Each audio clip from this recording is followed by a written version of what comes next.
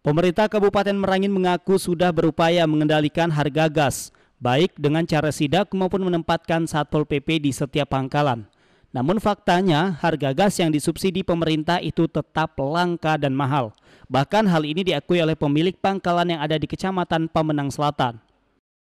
Payah, tidak ada tiap hari payah, ada yang besar, eh yang kecil malah payah nih. Yang kecil payah ya? Payah. Sudah berapa hari? Lah, lebih seminggu. Lebih seminggu ya? Nah, Kalau umpamanya Dua minggu berapa deh. harganya? Kalau biasanya harga 18.000. Kalau kini 24 25. Walau mahal, warga terpaksa membeli. Pasalnya, hampir semua warga saat ini sudah menggunakan gas untuk memasak. Namun bukan hanya mahal harga yang diderita warga, kelangkaan gas melon ini juga dikeluhkan masyarakat, terutama kaum ibu.